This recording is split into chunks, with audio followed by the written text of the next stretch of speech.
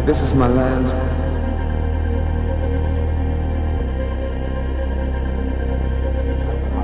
this is my home, then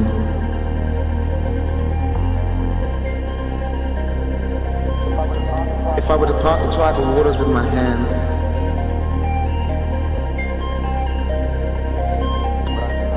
would I be considered a lesser man?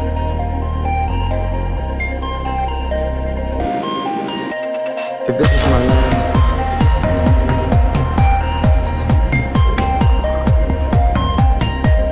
This is my husband.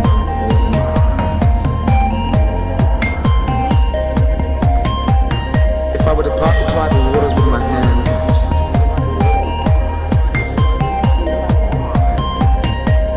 would I be considered a lesser man? To call this my my home, my home.